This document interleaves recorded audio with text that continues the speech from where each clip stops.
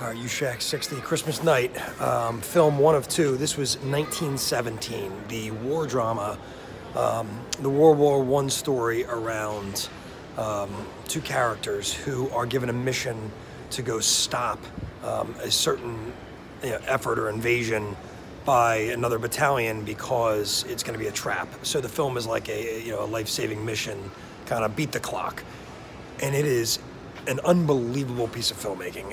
It is so fast and so compelling. It, it is non-stop. I am exhausted. It's like a tight two hours.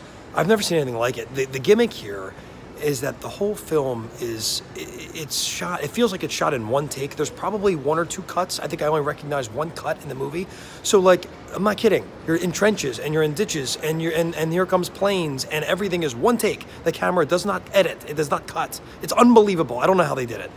It's an incredible piece of filmmaking. You know if i compare it to like a saving private ryan it doesn't have the emotional component but it's it's it's incredible